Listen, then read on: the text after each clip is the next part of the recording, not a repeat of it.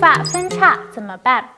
我们可以经常的按摩头皮，梳理头发，从头皮梳向发端，这样可以将头皮中的天然油脂带到发端，以使头发的发梢也会获得营养，避免分叉更加的严重。